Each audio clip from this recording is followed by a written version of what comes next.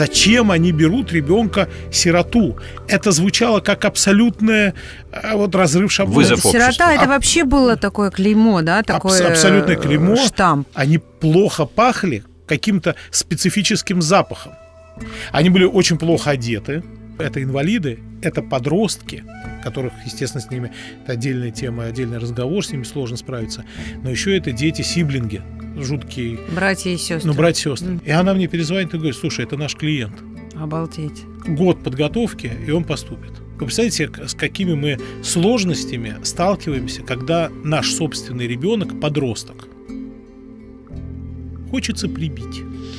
Да? Усыновляли только те родители, которые по медицинским показаниям не могут иметь ребенка. Не могут иметь ребенка. Это в смысле в законодательстве Ну, так это было? Нет, нет, нет, не в законодательстве, просто по факту. По логике. По логике Ментальность это такая. было. Если у тебя свои дети есть, нафига тебе Вот, чужие? а, значит, он плиточник. Б- Был меня познакомить, А что это значит? Кафель расскажу. кладет. Подождите, а где актеры, где плиты? Сейчас расскажу.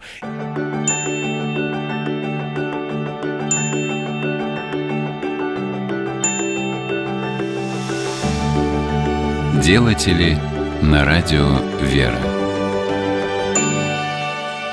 Здравствуйте, друзья. Это Радио Вера, проект «Делатели». Я Тутта Ларсен. А я пресс-секретарь синодального отдела по благотворительности Василий Рулинский. Программа «Делатели» — это разговор с теми людьми, которые посвятили себя служению милосердия. И у нас сегодня в гостях Армен Попов, генеральный директор Центра развития социальных проектов, основатель проекта усыновите.ру. Армен, добрый день. Здравствуйте, привет. добрый день. Армен, э, мы давно знакомы, и, конечно, у многих людей э, ваше имя ассоциируется прежде всего с помощью детям-сиротам. Вы стояли у истоков, можно сказать, придумали проект усыновите.ру, благодаря которому, наверное, десятки или сотни тысяч уже семей обрели приемных детей. Ну, я так скажу, что когда мы начинали, а, у нас на сайте была цифра Федерального, Федерального банка данных, и там было 160 тысяч детей-сирот. А сейчас 30, на сегодняшний день 38, по-моему, тысяч. Ну да, и Тысяч. каждый год ведь новое. как- э, Но это, конечно, не, не благодаря тому, что именно люди приходят через сайт усыновите.ру. Сайт просто один из очень удобных, я надеюсь, инструментов и очень оказавшихся эффективных инструментов, который помогает тем людям, которые решились взять ребенка в семью. И э, для них это большая подмога с точки зрения того, что можно познакомиться со всем, со всем банком данных, с анкетами любого ребенка, который э, подлежит э, усыновлению, и получить очень много полезной информации. Но что интересно, а, вы не только, ну, как бы технически, да, а, развили эту тему, но и очень сильно изменили отношение к усыновлению в стране. В этом это была задача. Это, Да. Именно это была задача. А, так сложилось, что в некоммерческой организации я стал работать, сейчас уже как-то даже неловко это сказать, 30 с лишним лет назад, а, когда а, в России ну, совсем было все плохо, это начало 90-х, совсем все было плохо с точки зрения, а, конечно, вот работы а, организаций э, С точки зрения благотворительности вообще. И, и зарождалась благотворительность, как могла и как могла существовала. И в основном это были, опять же, сейчас странно это вспоминать, и, в общем, даже не очень принято, но это были иностранные организации, Да. которые поставляли гуманитарную помощь. И, А, и, собственно, приносили те стандарты Да, общей работы, да, да. И, которые конечно, все сегодня... мы, кто, учи, кто э, учились и создавали впоследствии э, некоммерческие организации э, российские, то мы использовали те стандарты, тот опыт и ту практику, которую мы видели и знали. Почему вы захотели заниматься сиротством? Ой, ну, как обычно, это, как говорится, это цепь случайностей. Конечно, я не хотел. Я всю жизнь хотел, всю детство я мечтал стать большим начальником. И представьте что я буду заниматься, а всю жизнь занимаюсь сиротами. Поэтому, конечно, мне, э, я не думал, что я буду заниматься как-то сиротами и каким-то образом а, смог- вообще моя жизнь а, сложится. И я гораздо больше тяготел и тяготею ко всяким э, творческим проектам, к области культуры. И меня время от времени э, вот как бы сносят туда, но все время я возвращаюсь к детям-сиротам. Я нашел, наконец, нишу, я занимаюсь творчески одаренными детьми-сиротами и помогаю им в том числе. Это э, тоже одна из форм нашей деятельности. А, но так случилось, действительно, я попал, а, в общем-то, как обычно бывает, совершенно случайно, попал как раз, а, просто устроился на работу через знакомых в компанию к замечательному человеку, русской иммигрантке, которая в 90-е годы, она жила в Америке, и в 90-е годы она решила помогать, а, просто присылать сюда гуманитарную помощь в детские дома. И, ну, и нужны были какие-то люди, которые бы координировали всю эту историю. И так я попал, первый раз я попал э, в детский дом, это было, э, это было в э, Орловской области, это было шокирующее впечатление. Беднота? А, ну, да, мало того, что беднота, это даже меня, я еще не понимал, какие должны быть стандарты. Но это было шокирующее впечатление, потому что ты видишь большое количество детей, которые еще на тебя кидаются и называют папой, а я мальчишка, мне было там 19 лет. И второе, то, что я э, понимаю из рассказов, это детский дом а, был для детей, в том числе и детей-инвалидов. И когда они рассказывают, мы привезли э, инвалидные коляски. И это было таким сокровищем, потому что они рассказывают, что у нас дети зимой вообще не выходят э, на улицу потому что у нас одна инвалидная коляска, и э, по очереди она по очереди, и то она сейчас сломалась. И э, ребенка, вот они рассказывают, что дети у нас вот так на улицу не выходят. А, а так они там ездили на каких-то там странных приспособлениях. Тележка. Тележки, из стула там что-то сделано. И когда мы это привезли, это было, конечно, ну вот такое сокровище. Там привезли 10 инвалидных колясок, бэушных причем. Ну, американских. Ну, американских, да да. И э, я помню, это как, как экспедиция просто была, и, а, ну, действительно, мы, э, для меня это было таким вот потрясением, и я понял, что этим, ну, вот просто можно и нужно заниматься, и плюс к тому, плюс к тому а, вот появился этот ресурс, что а, вот эти американцы, они были готовы присылать, но нужно было, чтобы кто-то ездил, и нужно было, чтобы кто-то это раздавал, собирал информацию, что нужно, куда нужно и так далее. И мне это, в общем, мне это понравилось. Я, я скажу так, что тогда мне это еще больше понравилось, потому что это американцы, и тогда для нас это было вообще, угу. это, знаете, марсиане. Угу. И вот тогда это все имело такой флер. Боги с Олимпа спустились конечно, и дали огонь. Конечно, конечно. Но это, э, это, была, это был такой ресурс помощи невероятный. И все было настолько неорганизовано еще. Э, а я был таким вот, я как-то ориентировался в этом, я как-то это вот понимал, как это можно сделать, и меня это очень, э, мне это очень нравилось просто. Потом ведь был какой-то путь от разовой такой помощи и приезда в детский дом с американцами, путь к осознанию того, что нужно подлинно детям, да, и как это можно менять на уровне ну, государства. Ну, там это... было совершенно понятно, что детям нужна семья. Что бы мы ни делали, какие бы мы детские дома не украшали, и как бы мы ни делали, что бы мы ни делали, а, детям нужна, нужны папа с мамой. Все. Это просто... И я это понял как абсолютный закон, потому что я видел, а, что происходит с детьми после, после того, как они попадают в семьи. И это была, опять же, история 90-е годы, когда э, в России, мы сейчас об этом говорим, и, в общем, оправданно говорим, с неким даже э, стыдом, что вот тогда детей отдавали иностранцам, усыновляли иностранцам. Я политически сейчас это понимаю, это странная сейчас, кажется, вещь. Но тогда у ребенка не было ни одного шанса попасть в семью, если только не в иностранную. Тогда не было истории того, что, которая есть сейчас, развивается последние там 10-15 лет активно приемные семьи, усыновление и так далее. Этого института практически не было в России. А почему? Ну, его просто не было. Не было института приемной семьи, не было, и самое главное, не было традиции и не было культуры заложенной этого.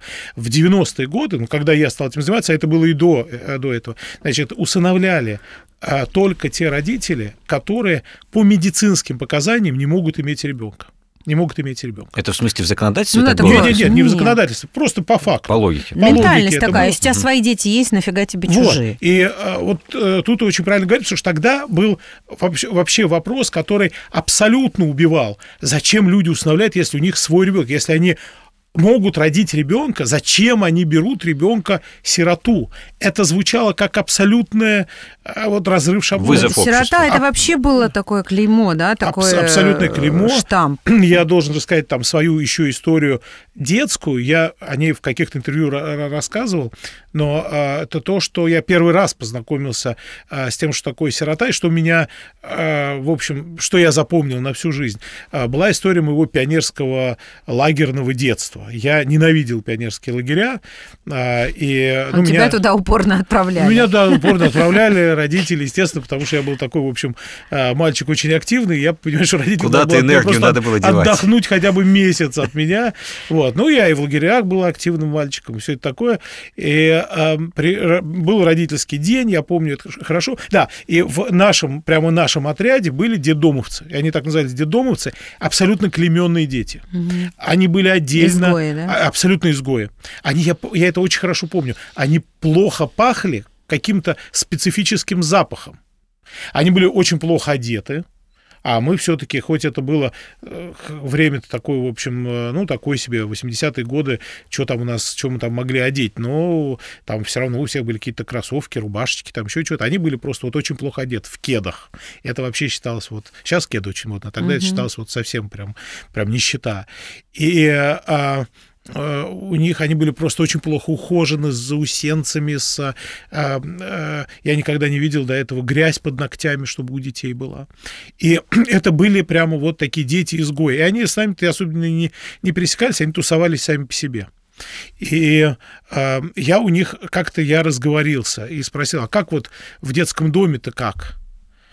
Она говорит, да так же, как в лагере. А для меня лагерь — это тюрьма. И я считал дни до конца смены, это там вот ты считаешь, там сколько там осталось, 15 дней, 12 дней, 10 дней. А они еще оставались, они ездили в лагерь на три смены и оставались еще в пересменку.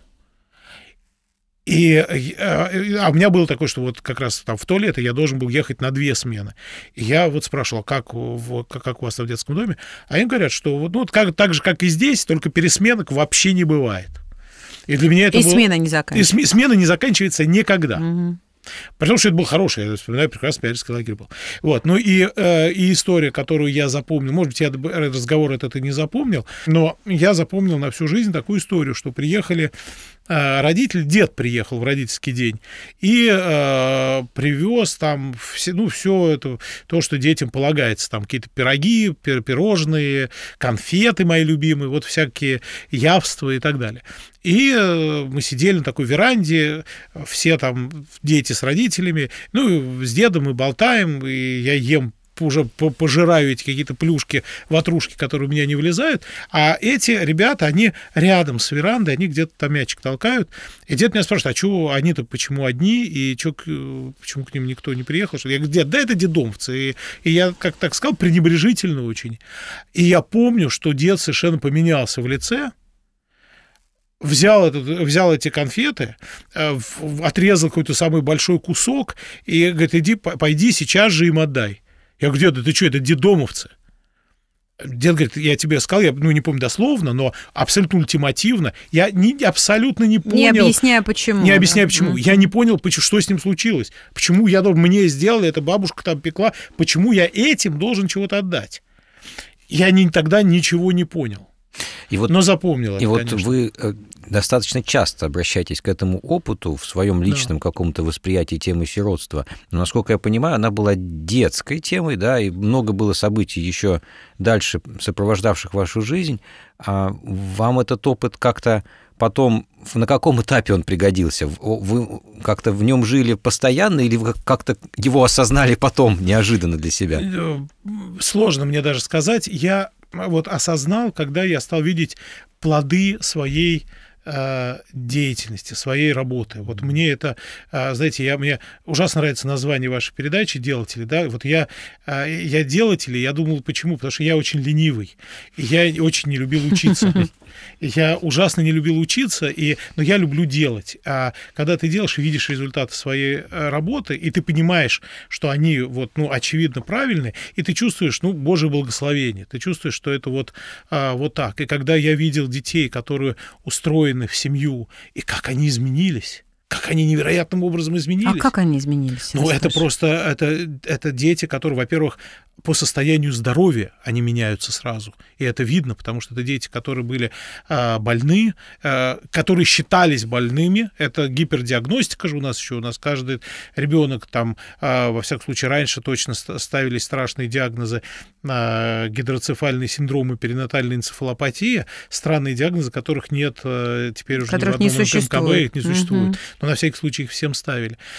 Чтобы испугать потенциальных приемных родителей, видимо. Но э, нет, чтобы оправдывать систему, которая должна что-то делать, что-то лечить и так далее, и так далее, и что-то там все время должно происходить. А потом оказывалось, что да, это нормальные здоровые дети. И, э, но другое дело, что были дети действительно и с э, такими врожденными дефектами, проблемами, и когда их брали родители и заботились о них э, как о родном ребенке, э, когда ты это и понимаешь, ребенок это получает, и ребенок, конечно, меняется. И мы сейчас это, я почему-то об этом говорю в прошедшем времени, но это и сейчас так происходит. Это и каждый день я вижу просто по нашим проектам, которые мы а, а, проводим. Да даже самый простой. Вот у нас есть такой проект а, по подготовке а, детей к поступлению в колледж. Это если говорить очень просто, это дети, э, это репетиторы онлайн, которые занимаются с детьми. Да, э, потому что, опять же, понятно, для своего родного ребенка, если мы хотим, чтобы с ним чего-то получилось хорошее, мы ему, и он ну, как, в общем, большинство детей там не учатся на пятерке, да, а, то мы э, берем ему репетитора, и мы с ним занимаемся для того, чтобы его вытянуть. И для того, чтобы он поступил в хороший колледж, а не вообще куда-то.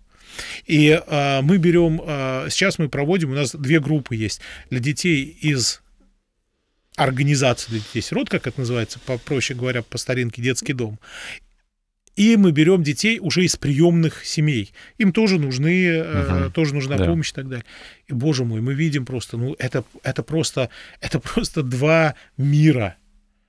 Это два мира. И того, как ребенок уже слушает этих наших а, преподавателей, как он относится к этому.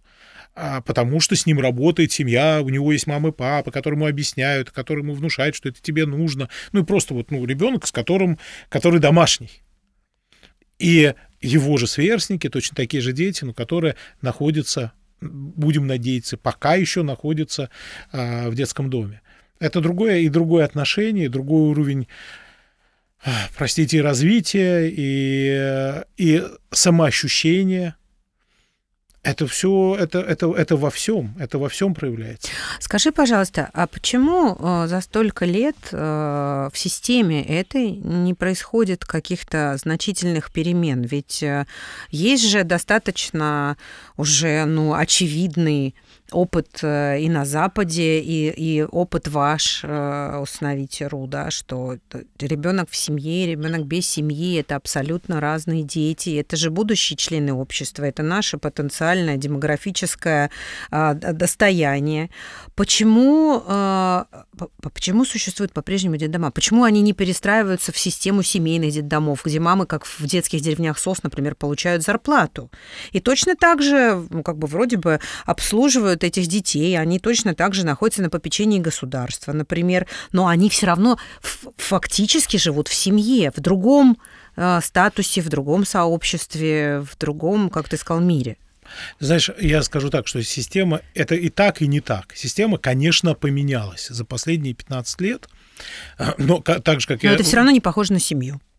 Да, это, это, не, это далеко не похоже на семью. Я просто могу счастьем э, констатировать, что просто ну, технически детей стало меньше. То, что я сказал, что мы начинали 160 тысяч в данных, сейчас там 38 тысяч. Да? Их просто стало меньше, и они же никуда не испарились, эти дети. Эти дети переданы на семейное воспитание в, ну, в большинстве своем, подавляющем большинстве.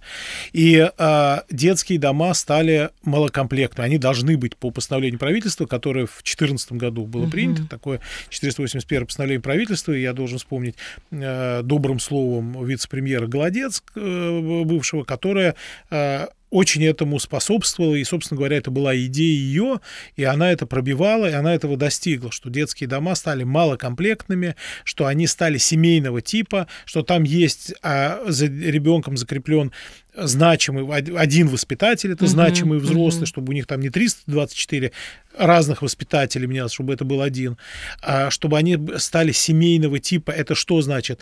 А, у нас же из этих 38 тысяч, которые в банке данных, огромное количество детей, почему их очень сложно разобрать? Потому что очень большой процент, ну, инв, это инвалиды, это подростки, которых, естественно, с ними это отдельная тема, отдельный разговор, с ними сложно справиться, но еще это дети-сиблинги, жуткий... Братья и сестры. Ну, братья и сестры. Угу. Понимаете, ты видишь а, прекрасную девочку, а, голубоглазую, с бантиками, 7 лет, и ты мечтаешь, и вот ее, ее, а тебе говорят, да, но у нее еще есть два брата, 12-14 угу. лет, ну и сестра еще 16-летняя. И ты, конечно, а по законодательству надо Разделять брать всех. нельзя, да. Если ты берешь, то берешь всех. Сейчас э, эта норма, с одной стороны, это правильная норма, как бы, с другой стороны, к ней нужно подходить более деликатно, рассматривать в каждом случае, потому что не больше ли мы вред приносим детям, что мы, а мы их обрекаем на то, что они находятся в детском доме, потому что у них есть братья, братья и сестры. Но так или иначе, э, был сделан вот этот э, существенный шаг вперед, потому что раньше что было? Один ребенок в одном детском доме, брат в другом детском доме, третий брат в третьем детском доме. И эти дети вообще разъединены между собой. Сейчас они должны быть в... Вот если они семья, они должны быть в одном детском доме, еще и в одной семейной группе, которая может быть разновозрастной возраста. Угу. И э, это есть, это существует, но это существует не везде так хорошо, как написано на бумаге. И мы тоже это знаем, и тоже это понятно, и поэтому знаете, и даже я бываю, ну, в таких как бы идеальных детских домах, где э, вдохновенные э, директора, которые посвятили свою жизнь этому. И я все равно меня не отпускает мысль, что все равно этим детям вот это все, это замечательно, но лучше мама с папой в простой двушке. Потому что мама с папой это про любовь, про, про вечернюю сказку, про э, сопельки, про то, что нужно, если нужно, то это нужно Но пойти это туда, про, куда нужно. Это же еще и про пример личный. Конечно. конечно это про, конечно. как сказать, про э, форматы жизни. Конечно. Во всех конечно, ее проявлениях. Конечно. И тут мы переходим ко второй части нашего даже того же проекта «Установите.ру», потому что вот мы поняли, что гигантское количество детей-то оно переплыло из детского дома в приемные семьи. А дальше история. И мы добились этого. И это была моя мечта, когда я э, вот в, в какой-то момент я понял международный опыт, американский, итальянский, немецкий опыт. Я увидел, что вот э, елки-палки, во всем мире усыновляют, во всем мире это нормально, это приветствуется, это во всем мире вообще считаются абсолютно публичным актом. Не существует тайны усыновления, uh-huh, ну, только uh-huh. у нас законом закреплена тайна усыновления. А в, в мире вообще этого нет. И люди ужасно удивляются, когда им рассказываешь про тайну усыновления. Говорят, как? А, мы же это рассказываем, и есть наука о том, как это ребенку рассказать, что ты усыновлен. Есть у католиков есть молитва. Ты рожден не под сердцем моем, но в сердце моем. А у нас этого опыта вообще совсем не было, никак до последнего времени. И моя была мечта, и моя была задача добиться того, чтобы были именно системные изменения здесь, в области общественного сознания. Когда мы бы приветствовали то, что, а, то, что люди вот э, э, кто-то взял в семью ребенка, и это хорошо, и человек не скрывает, и ребенок знает. Не врет ребенку. Не врет ребенку, да. И это же потому что все равно, как мы знаем, любая ложь, она в какой-то момент вылезает. В этих историях это вылезает всегда в самый неподходящий момент. И очень болезненно. Очень болезненно, несет драматические последствия. Об этом там много художественной литературы, да, построено и так далее. Хотя это вот это все рудиментарно, это все тоже должно уходить, потому что сейчас, по счастью, уже это не так. И, конечно, за последние, я этому очень рад, за последние 10 лет это претерпела существенные сдвиги.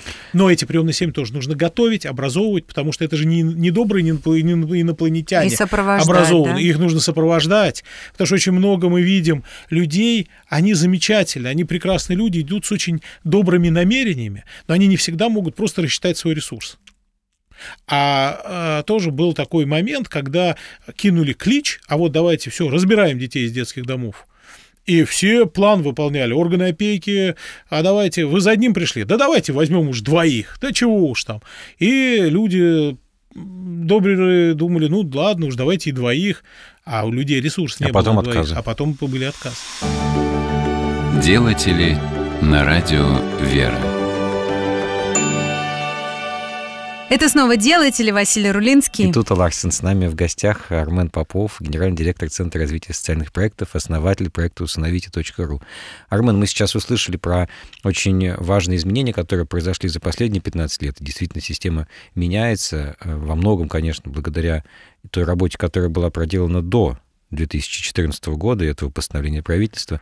И у меня ощущение складывается, может быть, оно неправильное, и мы, вы сейчас опровергнете, что в основном все, что было до э, вот этого закона 2012 года, э, все это было э, в этой теме скорее вопреки.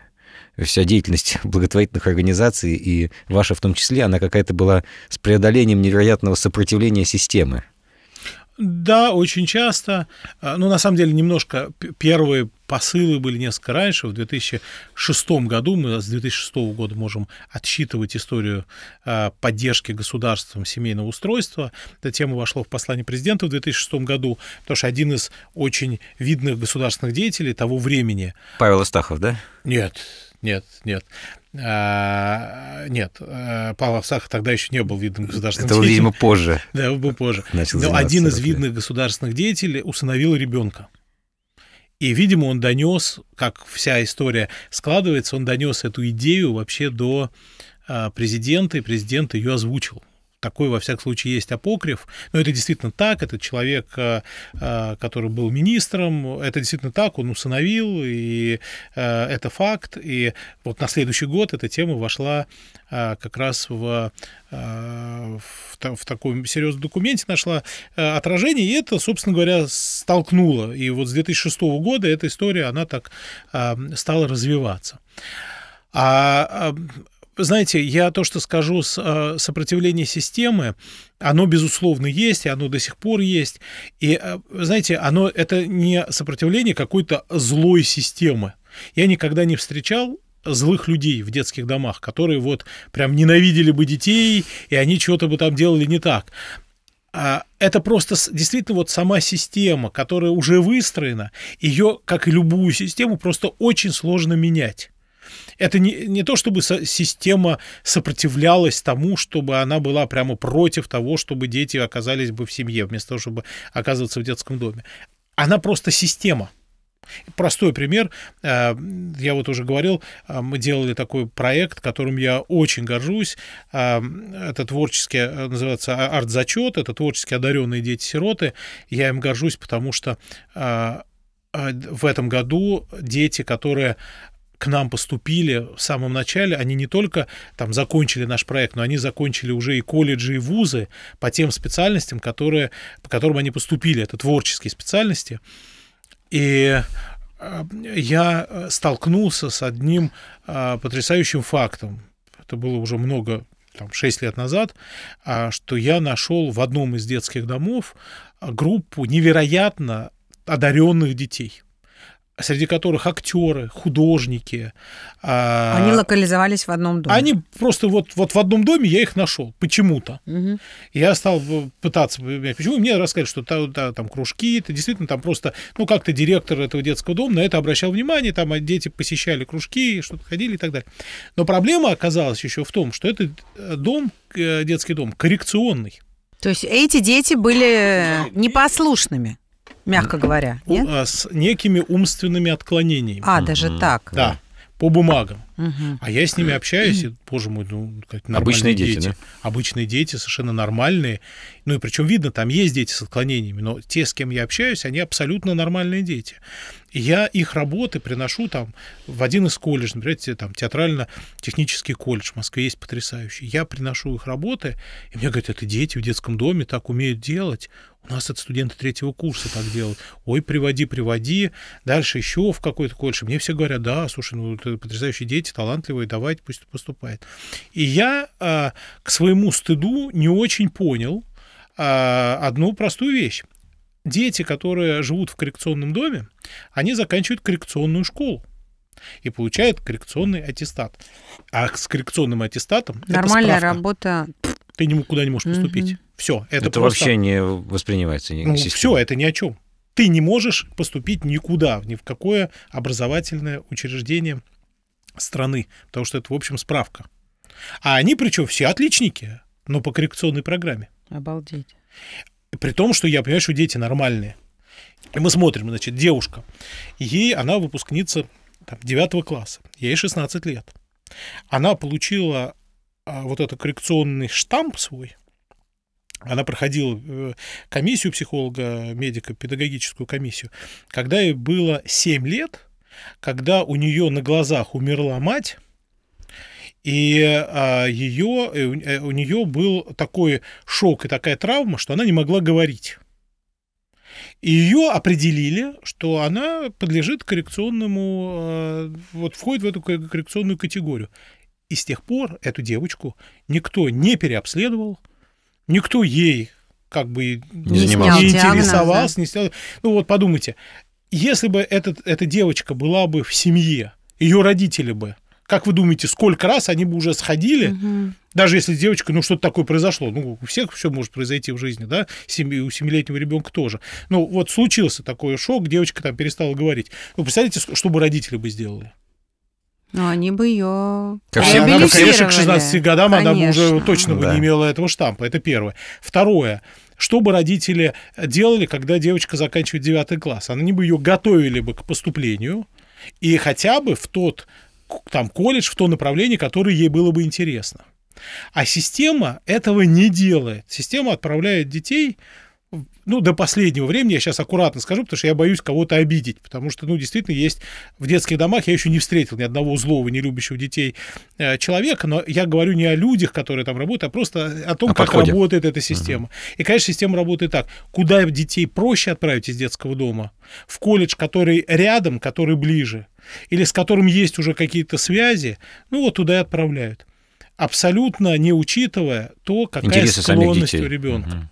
Ну, мы же с вами своего ребенка, ну, мы же к нему будем прислушиваться, к каждому, даже если у нас двое или трое детей, мы же будем соображать, что этот творческий, а этот вот технический, а этот вот математический гений, а этот вообще никуда не гений, ну давайте хоть попробуем хоть как-то. Зато рисует хорошо. Зато рисует хорошо. И вот мы стали брать этих детей, которые вот рисуют хорошо. Вот у меня был парень, который замечательно, э, замечательно, там забавная с ним была история, э, он делал потрясающие витражи, которого ему научили, он ходил в какой-то кружок, а, в, который его отправили в детском доме. Молодцы, что они его а, так вот куда-то направили, его научили делать потрясающие витражи. И вот девятый класс, он заканчивает. Я говорю, ну вот куда? Как ты думаешь?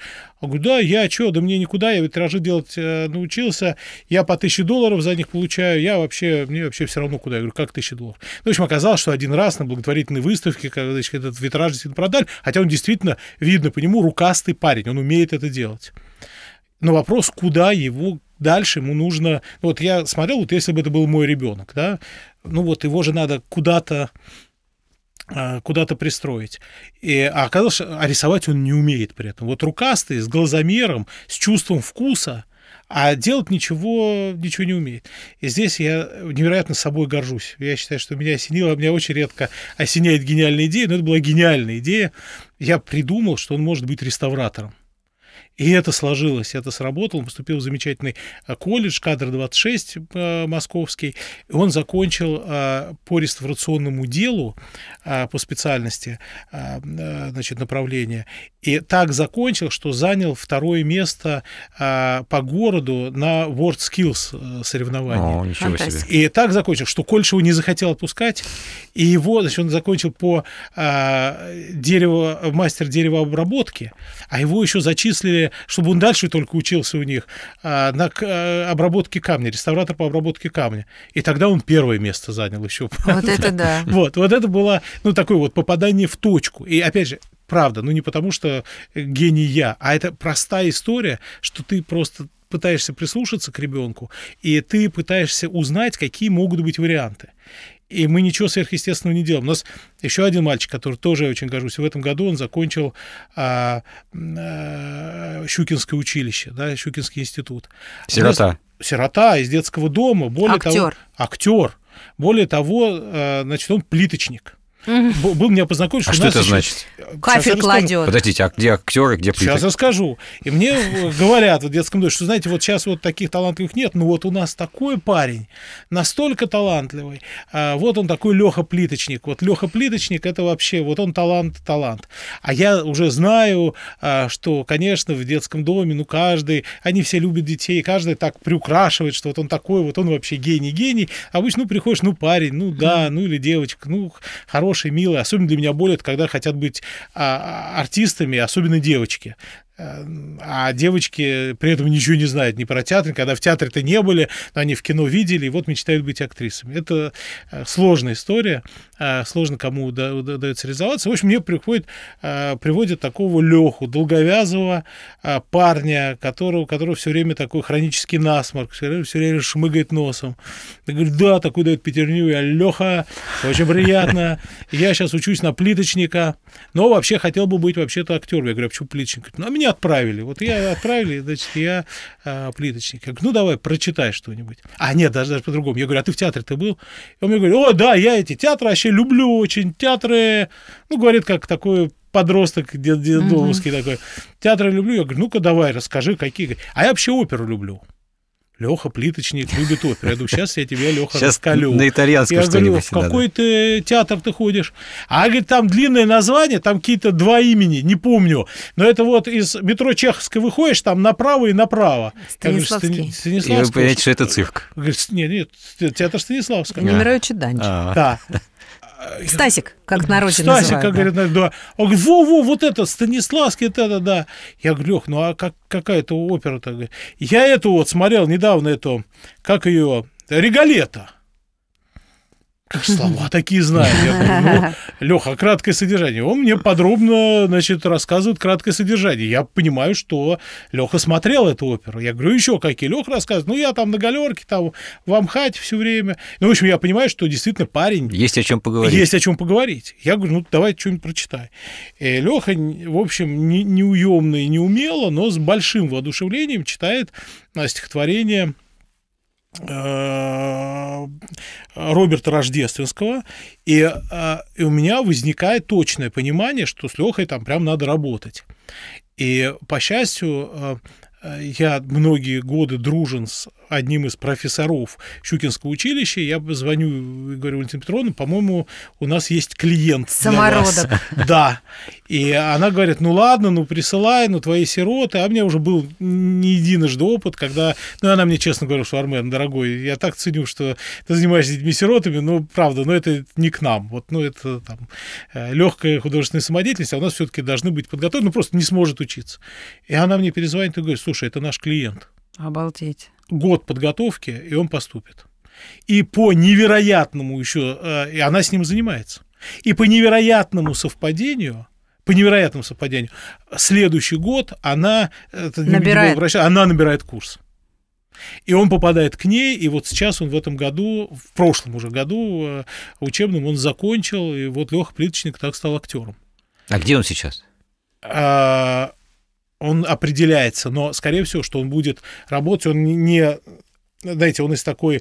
Это тоже важно. мне- она про него так откровенно сказала тоже, что а, он не не будет звездой, но я говорю, вот что- что вы скажете, что зря, что он поступил? Он говорит, нет, абсолютно не зря, и я думаю, что он будет заниматься чем-то а, вроде социального роли. театра. А, а, И да потому что он ты. все время ходит в детский дом, и он занимается с детьми, и ему это близко, и Как педагог? Да, да, вполне, вполне возможно, что это, что это будет вот такая история бумеранг в, какой, в какой-то мере. Очень интересно. Надо Вот, же. поэтому... Слушай, ну мы такие радужные здесь вообще истории рассказываем, а тем не менее, ведь до перерыва мы заговорили о вторичном сиротстве. Да. И эта тема по-прежнему очень остра в России. Почему? э, почему же, когда вроде бы уже и общество повернулось лицом к приемной семье, и детей э, в четыре раза меньше сирот в реестре, да? они справляются, люди. Вроде опека есть, и сопровождение есть, и масса всяких и горячих линий, и бесплатных курсов, и, и психологов, которые волонтерствуют. Ну, разные, есть несколько разных причин этого. Во-первых, я скажу, что у меня вообще боль моя, это то, что вообще есть дети-сироты что они вообще попадают туда. Значит, что-то у нас в обществе, что-то не так, что либо люди отказываются от собственных детей, либо люди ведут себя так, что нахождение детей в их пространстве, родных детей, в общем, является угрозу для жизни для детей. Поэтому в этом огромная проблема, так, на минуточку. Когда мне говорят, какая у нас проблема в сиротстве, ну, первая проблема, то, что оно просто существует. Проблема, конечно, есть, потому что то, что мы говорим, да, мы сократили количество детей в детских домах. Они перешли э, приемным, э, приемным семьям, но они перешли со всеми своими проблемами. И люди, которые, да, они проходят школу приемных родителей, которых, конечно, их готовят. Но, как вы понимаете, к родительству я все время сравниваю как с собственным ребенком. Вы представляете, с какими мы сложностями сталкиваемся, когда наш собственный ребенок подросток хочется прибить. Да. Очень часто, называя вещи своими именами. А когда это приемный ребенок, да еще когда это все осложняется, а приемные дети, ну, они такие же подростки, которые совсем вот этим, но на них еще, э, у них есть еще все сложности, которые связаны с тем, что они все-таки сироты. А когда это еще сложная многодетная приемная семья, когда это все очень сложно влияет, то возникает целый сон проблем, с которыми семьи сталкиваются. Конечно, то, что называется таким профессиональным сопровождением, с этим очень туго, потому что специалистов по сопровождению очень мало, настоящих, которые по-настоящему могут помочь. А очень часто сталкиваются с тем, что оно формальное сопровождение как бы есть, но специалисты, которые там работают, ну, извините, они своих детей не имеют и будут обучать. И опыта нет. И опыта нет. И он может быть замечательный девуч- девушка-психолог, но приемный родитель, у которого там, знаете, там четверо своих и трое приемных, которые столкнулись с проблемой, они бы счастливы получить бы а, такую пользу, но они понимают, что ну, мы к этой девушке как бы ходить, ну, Бессмысленно. нет, да.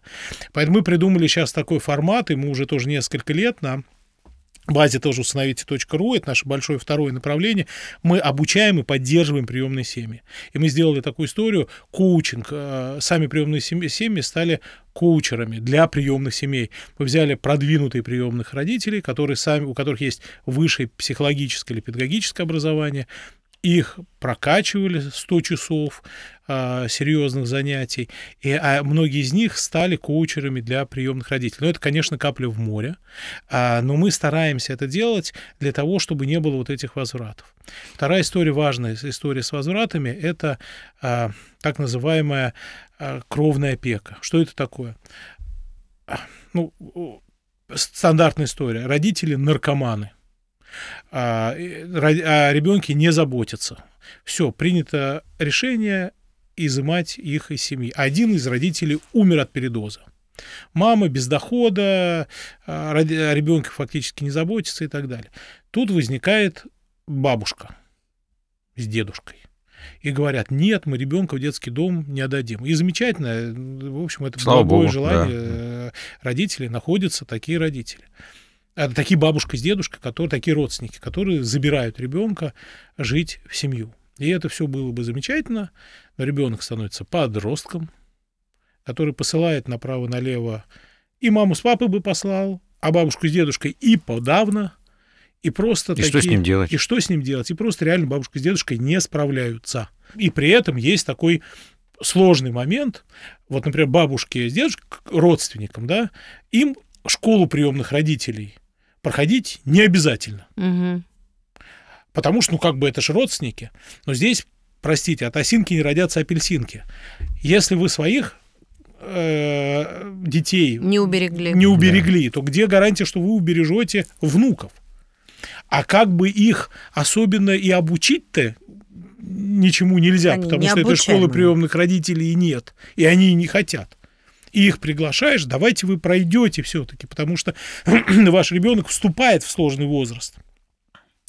Нет, и заканчивается очень часто, это дает очень большой процент возвратов, конечно, возврат из, э, из опеки. Вот. И это из, из-под родственной опеки. Угу. Это, это сложная история. И третья профессиональная история, очень важная. Есть мировой опыт устройства детей в семью, и это есть целая наука мэтчинг. Да? Мэтчинг – это соединение ребенка и будущего родителя, когда очень внимательно, досконально изучается и дело ребенка, и дело родителей.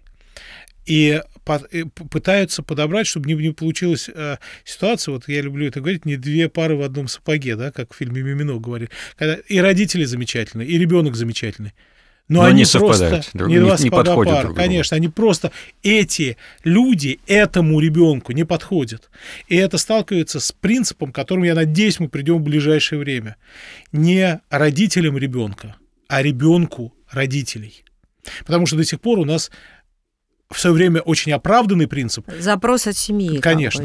Пришла семья, говорит, мы хотим, ну, грубо говоря, мальчика трех лет. А, хорошо, хотите мальчика, вот вам, пожалуйста, такого мальчика. Ну, может, давайте не трех, давайте четырех лет. Ну, хорошо, давайте четырех лет. Вот, пожалуйста, вот вам ребеночек.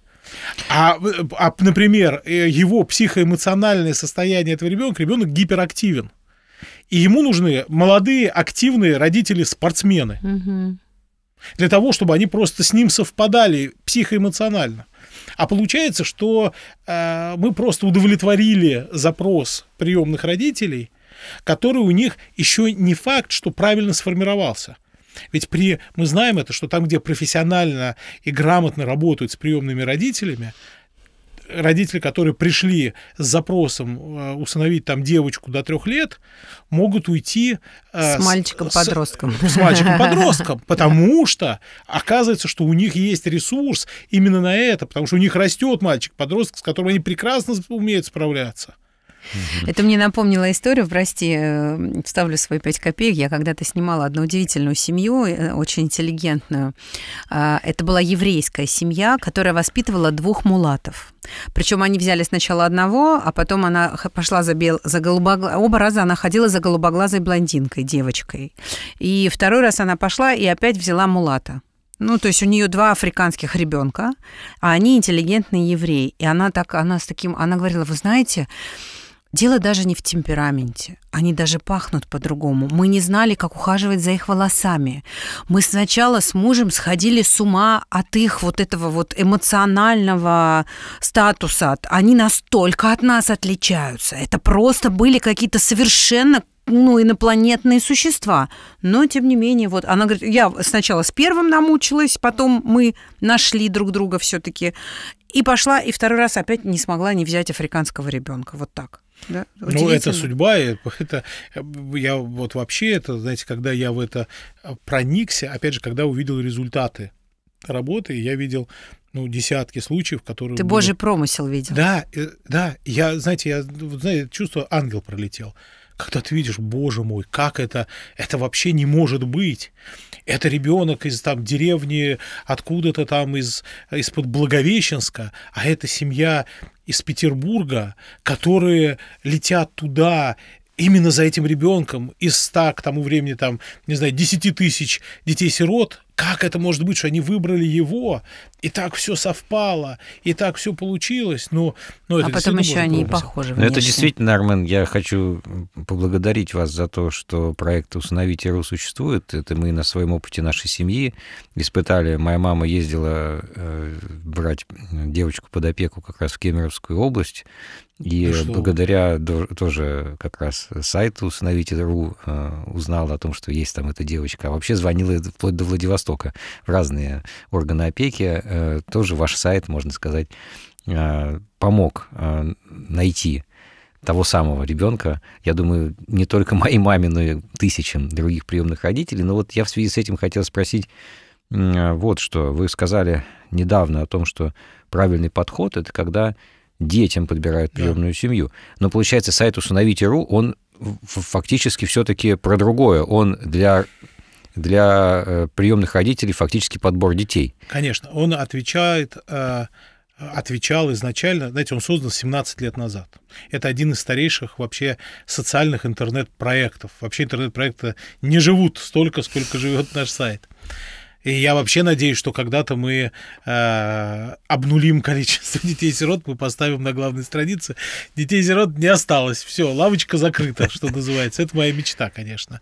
Но, конечно, мы и сейчас все равно эта тема, она все равно актуальна. Представьте себе, 38 тысяч сирот, ну, это город. Это город. Да. И мы все равно... Райцентр. Да, райцентр, но э, нам еще работать и работать. Но мы должны и к этому идет. Это уже такая абсолютно понимаемая тенденция на местах, а то это должна измениться государственная политика, и сейчас это уже происходит. Создают уже а, такие анкеты потенциальных семей, кандидатов в приемных родителей, которые показывают, а, ну уже, конечно, когда ребенок постарше, Мгм. то ребенка, готовя к встрече с родителями, показывают, рассказывают, а вот такие есть И родители. у него есть возможность выбора, с кем Но, встречаться. а, Юридически-то, конечно, нет, но уже у ребенка ребенку дают эту возможность такого действительно выбора. Я с осторожностью отношусь, потому что здесь же, ну что, ну дети падки на что?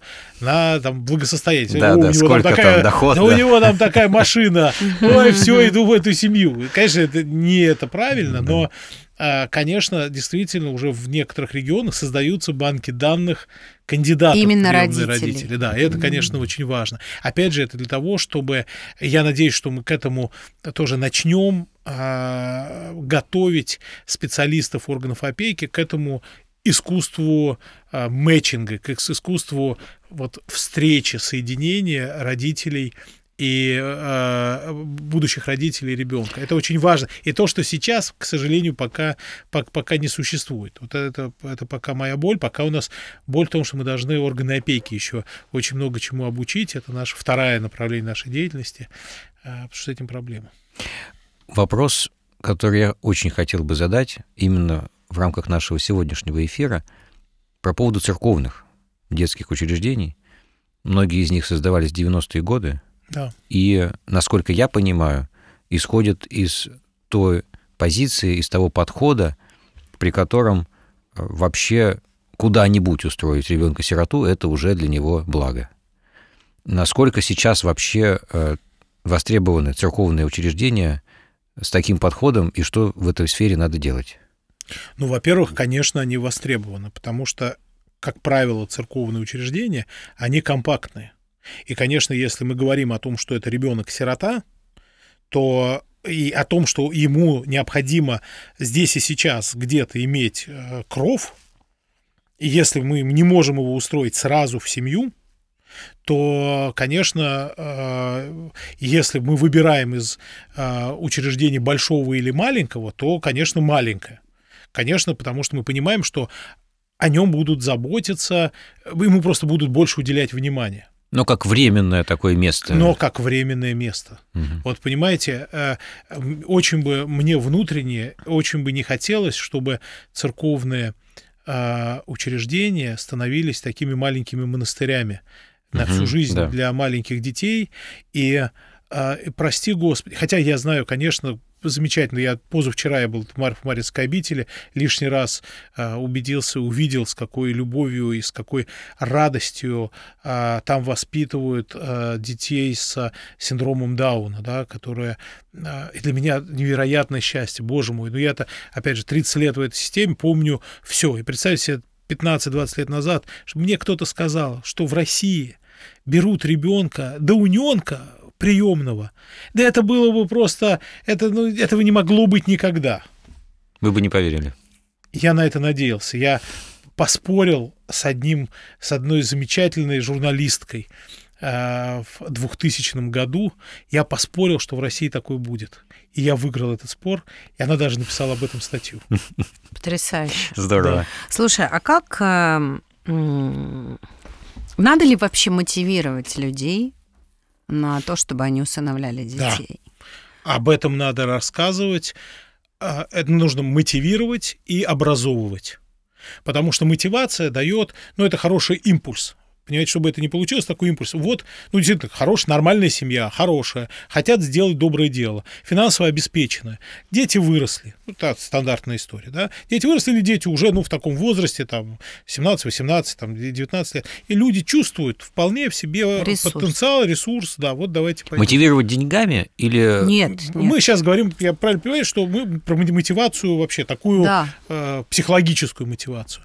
И мы, конечно, должны мотивировать. Если чувствуешь ресурс, если ты понимаешь, и мы знаем, что у нас, опять же, 38 тысяч детей, то почему нет? А бывает, что один э, в семье хочет, а второй категорически Конечно, против. бывает. И тогда, конечно, не надо. Потому что ребенок, которого ты берешь в семью, он не должен быть предметом э, раздора. Это понятно. А есть ли какой-то шанс убедить того, кто не хочет, Есть. что... Ну, много раз Это нужно. случалось. Ну, во-первых, скажу, ко мне часто обращаются там и друзья, и друзья друзей, а вот а, ты помоги, а вот вот хотим усыновить. И я жуткую миссию выполняю. Я их отговариваю.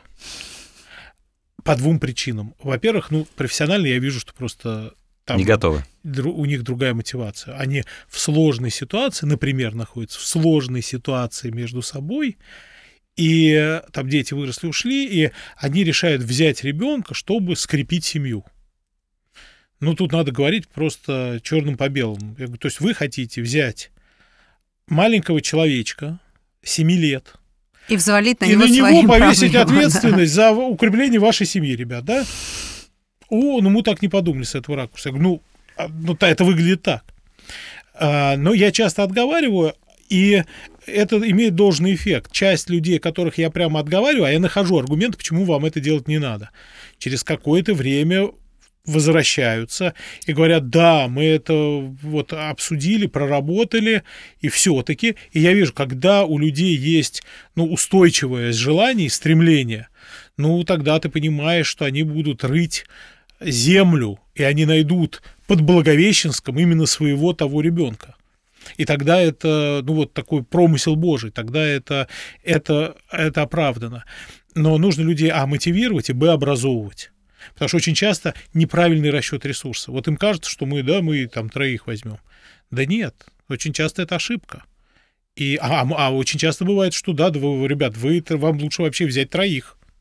Армен, мы говорили сегодня про промысел Божий, Да. и мы с вами, можно сказать, промыслом Божьим тоже э, стали, так сказать, духовными братьями, потому что у нас один духовный Да. отец был, отец Георгий Бреев, и для вас вот э, такое соприкосновение с вопросами веры и духовный путь вашей жизни, насколько он определил ваше нынешнее служение в сфере помощи детям-сиротам? Насколько это сочеталось, э, вот эти два пути в церкви и служение сиротам? Ну, Я так скажу, когда я начал заниматься сиротской историей, я был молодым человеком верующим, потому что, ну, так получилось, что я в такой семье рос верующий, даже в советское время, в школе там скрывал, крестик перед физкультурой снимал и все это такое. А, а, но я перестал быть воцерковленным подростком и молодым человеком, да, и я как-то пере- пере- переехал жить на другую планету, где как-то в церковь ходить было не обязательно. И, и жил себе так и жил, и, в общем, жизнь складывалась своим образом. Я, естественно, совершенно никак не отрицал, э, и как-то там ха- похаживал в храмы. И с отцом Георгием познакомился как раз тогда. И отец Георгий для меня был таким вот, ну, главным священником моей жизни, но совершенно не духовным отцом. То есть, ну, потому что я вообще не понимал, зачем нужен духовный отец. И, а, ну, в общем, как-то я занимался, я занимался, чем я занимался. А потом приходит какое-то, ну, время взросления, переоценки каких-то ценностей, понимания того, что ты делаешь. И мне а, а, это совпало с рядом там событий у нас внутри семьи сложных, там болезнь отца, и а, я должен был организовать, а я это все оттягивал, боялся свою организацию, я это очень боялся.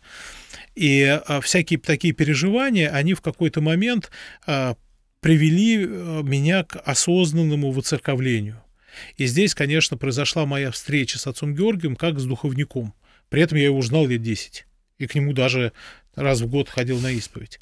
А здесь это было уже, конечно, он меня, конечно, очень укрепил, и вот э, такой он создал такой фарватер своей линии жизни, внутри которого было и очень комфортно, и уверенно, и ты всегда мог спросить вот э, какой-то совет, правильно или неправильно. Он, конечно, очень это поддерживал, благословлял это дело.